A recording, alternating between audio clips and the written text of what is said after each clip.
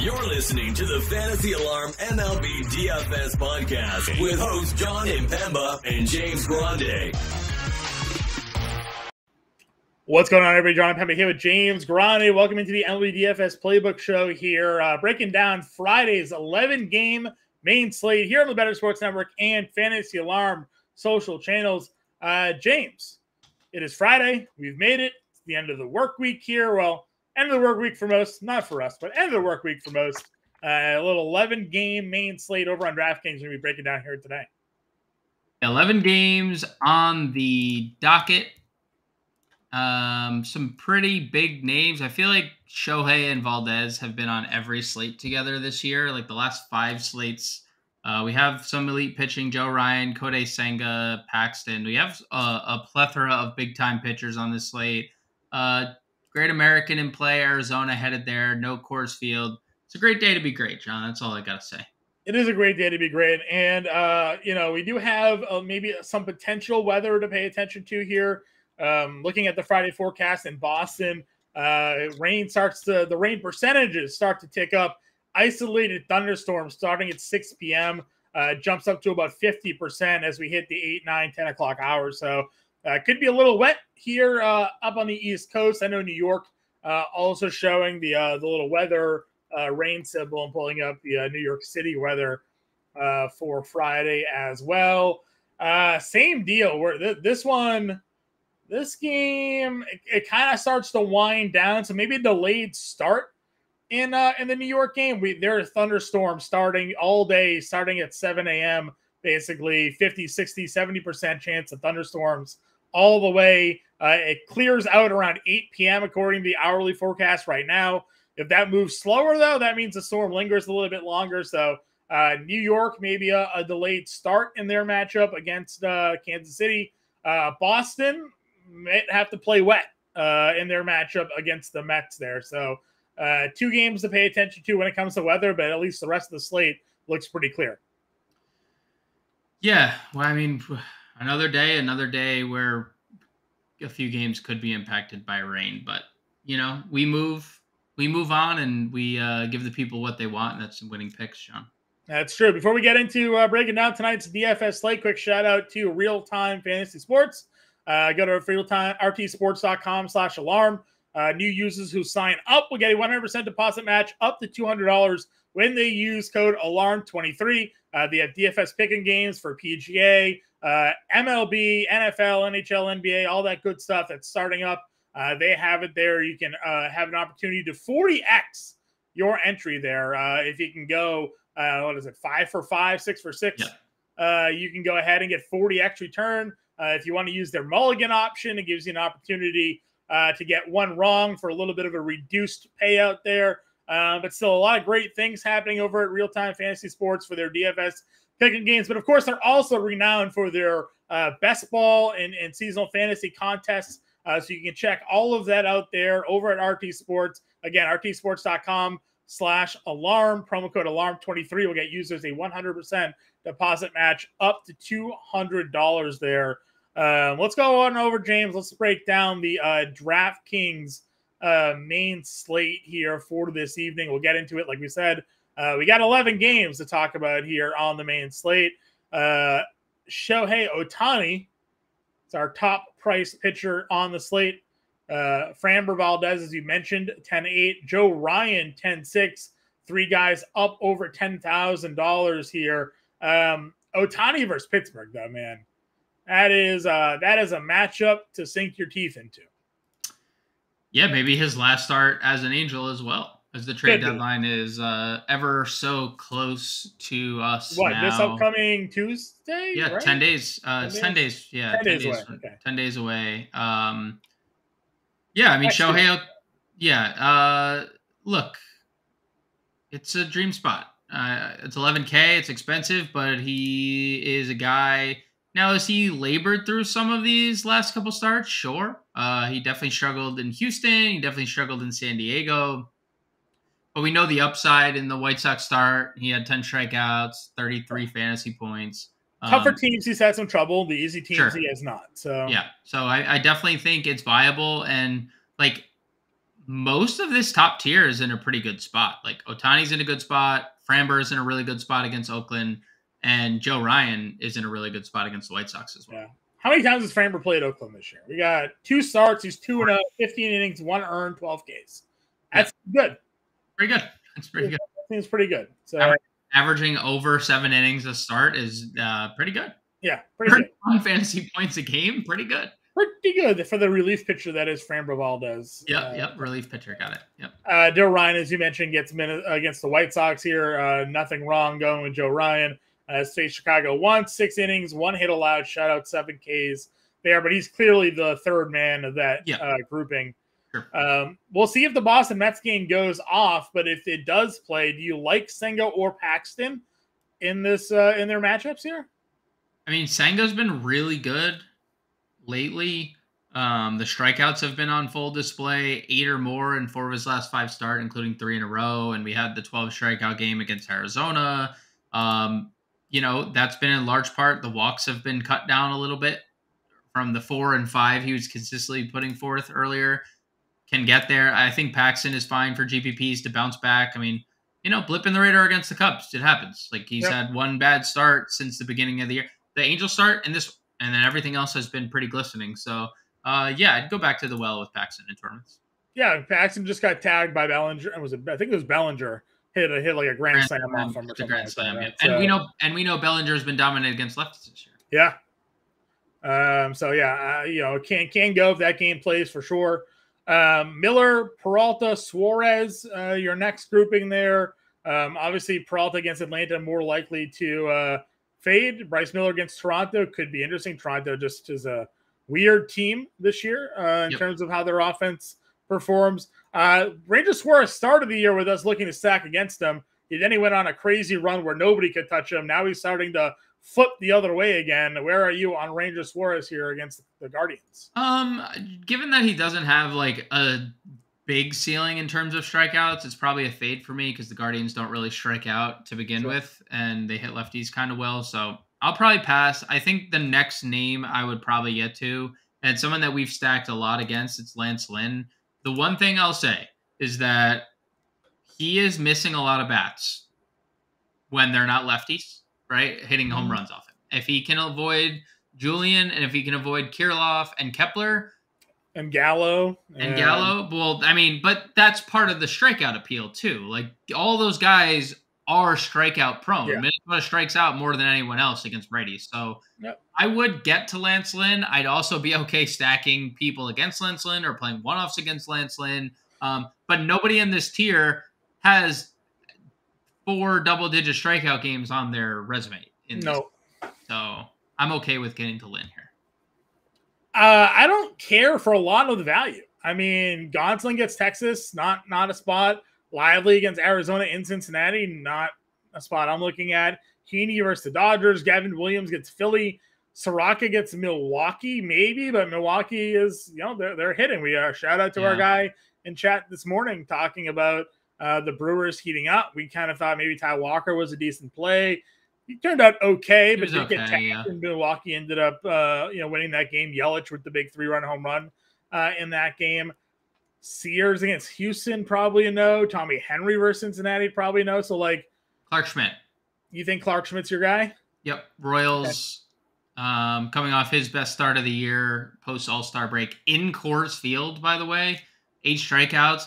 Again, it's all about the strikeouts for me. Last two starts, eight strikeouts, seven strikeouts. He's using relief before the break because you know we had a break, so anybody and everybody was used in relief appearances. Right. So uh, Clarke Schmidt has 95 strikeouts and 94 innings this year. He's has he struggled with lefties? Sure. Kansas City doesn't.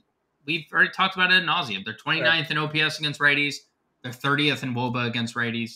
Um, I think Clarke Schmidt makes for a pretty good value down here. And honestly, Someone who I was stacking against right off the bat, Jon, Alec Marsh on the flip side of this matchup. 11 strikeouts against Tampa Bay, five in all three starts. Like this guy was terrible in AAA last year. He was 2 and 16 between AA and AAA last year.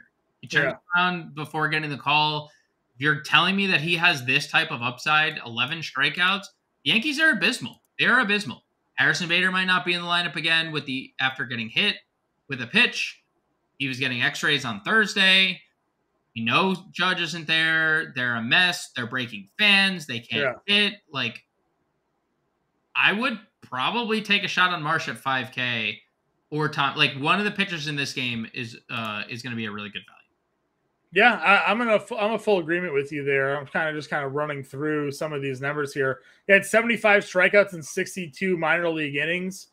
Um, it looks like there. So, um, seems to be a big a big strikeout guy. Uh, at least at the minor league level, struggled more at Double A, went to Triple A, and actually pitched kind of well. So yeah, maybe mm-hmm. I like Mars. I mean, the home runs are an issue, but Yep. Yankees aren't hitting home runs. So no, we're not. No. Um, yeah, listen, I think the best case scenario would be for this game to get delayed and then start late, so these pitchers yeah. don't get interrupted. Yeah. Right. So, yep. uh, moving on over to catcher. Uh, talking about, I guess, the catcher, but the infield in general. Um, tell me about where we're looking to spend up for when it comes to the infield today.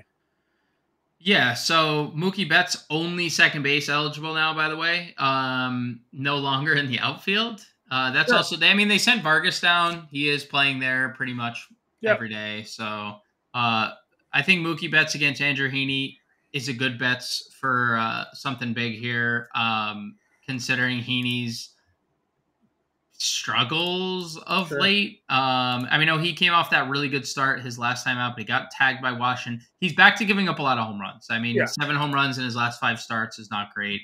Uh, so Mookie Betts at the top for me. Um, anyone Houston related in the infield, JP Sears. I like Bregman. I like. Um, we know Jeremy Pena has really good success against left-handed pitching. Yeah, it's going to be hard not to want to stack Reds in in some capacity when you get Tommy Henry on the mound. I know yeah. Tommy Henry in Cincinnati. Yeah, yeah, like, like it's it's pretty appealing. So um, where do we got? I think. Uh, do you think Ellie sits here? We've seen India sit. We've seen McLain sit. sit. We could Who's the next guy on on the bench? Feels like it could be an Ellie.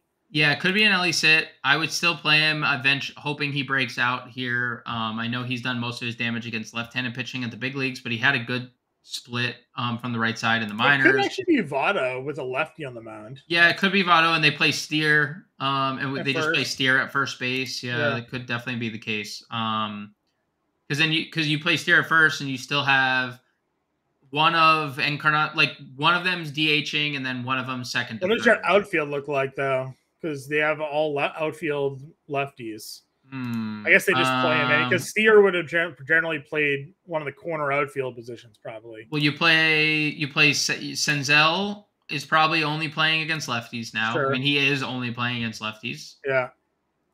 Friedl has at bats against lefties, and like Fraley doesn't. I don't think Fraley has like any at bats against lefties this year. Right. And you probably can't take Will Benson out of the lineup at this point. I, I would hope not with the way this man's playing. You probably can't take him out of the lineup. So like Benson, Friedl, Senzel, Senzel? and then yeah. you just oh. as first first sign of a righty, Senzel's out of the game for Fraley yeah. pinch hit. Yeah, probably how it goes. I would agree with you. Um, I think he'll run back to Atlanta again. I, I listen. I like Freddie Peralta. He's on my fantasy team, but uh, Matt Olson double donged today after. I mean, we were waiting, right? We were waiting for the break. Five and a third perfect today, and they still scored seven runs and hit four home runs. Austin Riley home run and a triple. Michael Harris came through. So like, I, I am still in on Atlanta here. Now they're in Milwaukee, which is a good hitters park too. Like, sign me up. Sign me up for some Atlanta. So annoying. It's annoying. Like, and this has been MLB DFS for me in a nutshell, and I tweeted it out on Thursday. They get a matchup against Ryan Nelson and do literally nothing on Wednesday, and then they get a matchup against Zac Gallen where they're being perfect gamed, and then yeah. still score seven runs and four home runs in a three inning span. Like, yeah, where I'm not playing. Like that's what MLB DFS has come to me lately. Uh, it's been a brutal, brutal couple couple weeks, Jon. Yeah. Um, I also think Texas is in a good spot here. They're now yeah. they're expensive, obviously, but Gonsolin's peripheral numbers have just indicated for most of the year that he was pitching a little bit better than or, or worse than his numbers were looking like. Um, you know, Seager 62, but uh, once again, I look at his last 10 games and there he is, 300 with a thousand. It's just like like clockwork. Guy doesn't guy doesn't struggle. So um, yeah, I like that. If we're looking at for some value, uh, here on the infield position. Where are we uh, taking a peek at? So lefty on the mound for Toronto, Eugenio Suarez is twenty eight hundred dollars. Um, he has been scorching the earth hot lately, um, and he did it again on Thursday. Not with a home run, but uh, two hits again on Thursday. Double digit fantasy points again on Thursday. So um, Eugenio Suarez 2800. We know his pedigree against left-handed pitching. I think he really stands out going up against Yusei Kikuchi, who, as we know, just allows a lot of home runs. That is Yeah. what Yusei Kikuchi um, does. Um, I like Other- Candelario at third as well. Again, get a lefty on Yep. the mound. Uh, and Alex Wood here going up against Washington. Yeah, that's a good one. Um, if you are not playing Alec Marsh and Oswald Peraza is leading off, I'm okay getting there. Uh, Emmanuel Rivera homered off of Spencer Strider on Thursday. You know, home runs in two straight games now for Emmanuel Rivera. If he's starting, I know uh, Ben Lively is back, but that's in in uh, in Great American. Look, you got to play Wilmer at this point. He homered again on Thursday, and I know I touted. base uh, Wilmer Flores, by the way. yeah, first that's annoying. Um, I know I touted uh, Lance Lynn, but again, lefties are his kryptonite. So if you do want to play Minnesota, yeah, I mean Julien is yeah, Julien is what 31, same price. Kirilloff 22, same exact price. Kept uh kept we'll get to the outfield in a bit, but uh, those are some of the good values for me. Yeah, I'm, I'm with you there uh, as well. I don't really have too much to add. Uh, CJ Abrams is another guy that I would just mention. I know Sure. it's a lefty lefty, but I mean, the man is he's here, right? Like he is uh, really hitting the ball well. Doesn't really matter who's on the mound for him there. Stolen base potential uh, as well. So uh, in uh, on CJ Abrams, $3,300 uh, for him. There's another value piece. Uh, moving on over to the outfield here. Uh, top guys here are obviously, uh, you know, Acuna. You have Tucker against lefty, who he's been mashing against left-handed pitching here. Uh, Corbin Carroll homered uh, after again doing nothing for a little bit. Boom, great player. He gets lively in Cincinnati. Gotta like that uh, prospects for him there. Yeah, I think he'll probably be one of the higher owned uh, outfielders of the day because, like you said, he was he had a stolen base early. He got on base, like he had a walk, scored a run, Corbin Carroll things, and then was just like, nah, Boom, let me just let me just yeah, let me just hit another late home run. Um, yeah, he's I mean he's a He has hit a lot of hit, late home runs, hasn't he? That Atlanta game, 16-13, that was a late home run. dude. He's done it a he's done a lot of Yeah. late damage. Um, A little bit of a home run uh Drought? drought, though. Um so it wasn't it wasn't the 16-13 game. It was maybe the Mets game he had a late home run. One of these games late recently he had a he had a later home run, but uh today's one was a late home run as well, yeah. I think he. I love Kyle Tucker against lefties. It doesn't scare me. Um, I continue to say I play Kyle Tucker when he's scorching hot, and he's still doing the damn thing. So uh, those two probably for me above 5K, and, and JD Martinez against Heaney just for the home run upside. I will say, I mean, whatever Christian Yelich is on, I want some. I, I was going to wait for you like, to see if you mentioned him. I mean, like he is another three hits, another home run. Um, him and Cody Bellinger probably like called each other like, "Hey, let's do you want to do you want to turn it back on for the, everyone to show them what we that we just haven't cared for?" And they're Yeah. and Cody Bellinger put down his blunt and was like, "Yeah," and then I know, mean, they, yeah, they're, it's wild to see the seasons that these guys are having. Uh, Bellinger, you know, could be a guy that's traded, you know, at this point, Yep, basically the way he's, uh, he's performing right now. So uh, I'm in there. Lane Thomas at 48 gets the lefty. I, I like Stanton. You know, again, Marsh has been giving up a lot of home runs. You want to take a dart on the home run play? Could go Stanton there. Steer gets the lefty. Uh, you get Yoshida versus Senga. That's just an interesting matchup for the the story behind it. Yep. Um, you know, he's forty six hundred dollars. You know, again, a, a, a Red Sox guy that has been white hot, three seventy eight with a thousand OPS. We know that. Uh, Jarren Duran has been really hot. He's at four K here um, as well. The Angels, Moniak at forty one against Dude. Oviedo, right? Like that's a pretty good spot for him. yeah, lefties against Oviedo have been uh, very fruitful So I'm definitely down to get to Moniak. The only downside to Moniak is he strikes out a lot, but he's been incredible. He's hitting third too. They're batting him Yeah. third behind Ohtani, so he's getting a lot of pitches to hit. Yep. Uh, no disrespect to Michael Harris, so I skipped there to go to Moniak. He is also a very good player, so Yeah, very good player. can go there against uh, against them if you want to. Uh, under 4K, what's the uh, what's sticking out to you here? Chas McCormick, 3,700. He continues to rake. Um, four home runs in his last three games. You know, just water is wet. Homered again on Wednesday. Uh, Michael Conforto and the lefty giant bats are just too cheap against Jake Irvin. Jake Irvin has struggled specifically against lefties this year, so you can get to him, um, or you can get to Conforto or Yastrzemski down here, who are just far too cheap uh, for their upside. Teoscar versus the lefty. And then Teoscar against the lefty. Yep, I know, are I know his numbers have sucked, but his numbers against lefties are still good this year. So numbers against lefties are still good this year. Um, let's see numbers against lefty. I'm just gonna pull them up too, just for for. Uh, lefty on the mound. Do do do do do. I guess I'll caveat saying that when I put him in my Prize plays a few days ago, the lefties against number, the numbers against lefties are still good.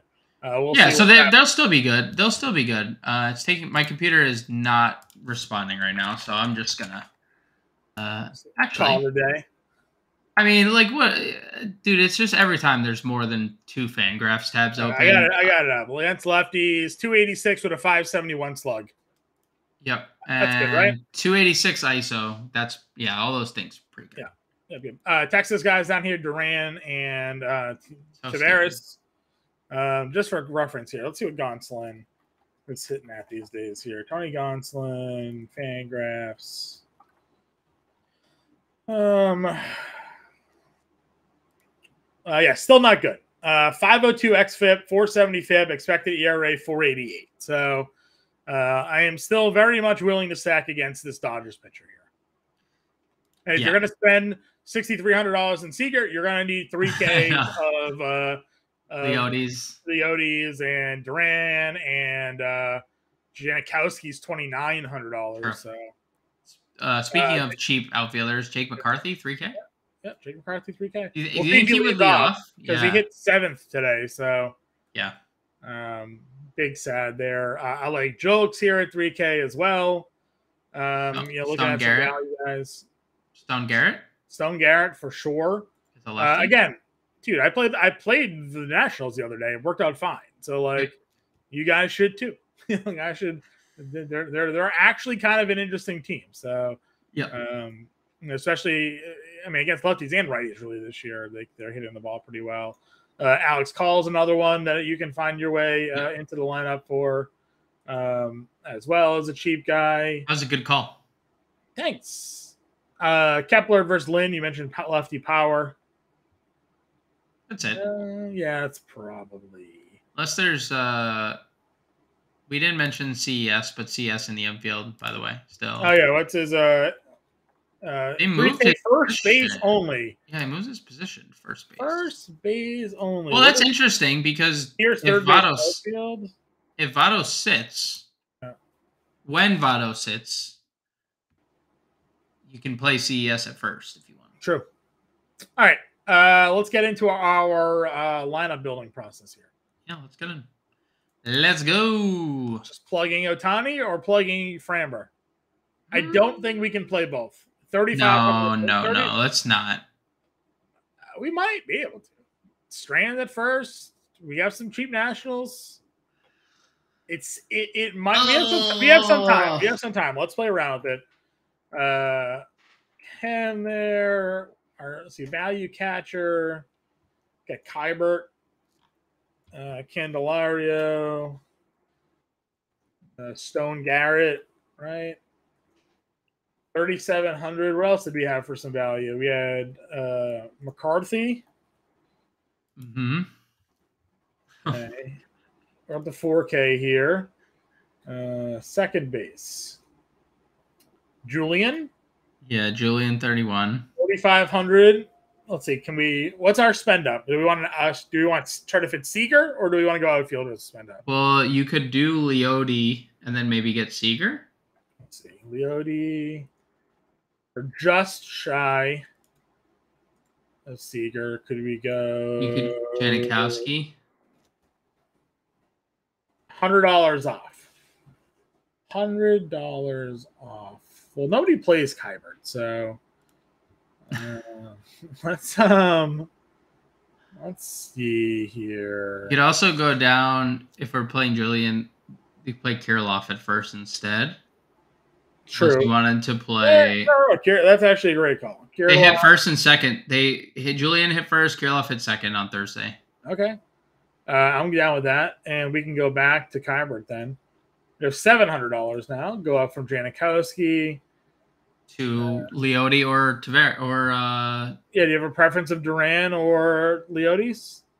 Let's see. Gonsolin um, splits here. Are they both switch hitters? No, right? No, No. T- Taveras is and Duran only hits Yeah, from the right side. Let's see. Uh, 281 Woba versus lefties. So that's the weird thing, right? Like all of his numbers are good, but they're not good. Let's let's XFIP. Let's see XFIPs here. Uh, XFIP versus lefties is 478. Versus righties, it's 525. So Oh, Leody. So Leody, who's been better? Uh, 357 Woba, 298 average against righties. He's been better. Okay. Uh, so yeah, so if we're gonna go double spend up, we gave ourselves a Nationals twin stack um, with uh, the Seager bump at sixty two hundred dollars at short with uh, Leody's and a one off Jake McCarthy because he's our boy. Um, that's not a terrible lineup. Like that Not a lineup, terrible lineup. that lineup could do some things, and now the lineup could also we we could have a lot of zeros, We could definitely have a lot of zeros. but the pitching should be elite. Let's. Do you want to quickly Yeah. put together a Ohtani, Marsh, or a Yeah, let's go Schmidt Marsh, here. Schmidt? Yeah. Yeah, yeah, yeah. Um, and we'll we'll re-rack here. We What's got your- a pretty What's the good. stack that you like? Um, the Angels are really good against Oviedo. The Mar- Yeah, I just hate that we can't use Ohtani. I know there's cheap Mariners. Um, You want to go Suarez? yeah, Suarez is really cheap at third. Suarez at third. He's been really good. Okay. I mean, the Reds are hard to ignore. You San go Francisco is good. So we go back to Strand. Yeah, we can go back to Strand. That will provide us a steer in the outfield with a lefty on the mound. Sure. 4,700. They'll probably stack each other too. That's probably right next to each other in the lineup. Yeah. Are you comfortable with um with uh, Keibert still? Yeah, he's good, dude. Uh, forty-seven hundred for second, short, and two outfielders. Um, I mean, Julien still is good, but do you have another? yeah. No, we could just play Julien. He's a default because we'll be able to afford pretty much anything we want. Two hundred, yeah, we can fit whoever we want here. I'll go. I'm just gonna go back to one off and Seager, forty-seven hundred dollars. Feels good for two outfielders. That feels good. And we we, we liked some cheaper guys down here. We can still play Moniak. Still Yeah, that's what I was thinking too. Moniak and then 5,400 for JD Yelich. Yelich. That's against Soroka. Yelich. Okay. That work for you? Yeah. Works for me. All right, guys. So that's a look at a couple of lineups that we're building here. Again, first look. Uh, James and I will be back live at five o'clock Eastern tonight uh, on the live stream. Update you with all the information you need to have. We'll rebuild some lineups, go over our favorite plays, uh, and give you some uh, RT Sports Pick'em props as well. I'll be on the playbook, so be on the lookout for that. Get us in the Discord, and James and I will talk to you all later.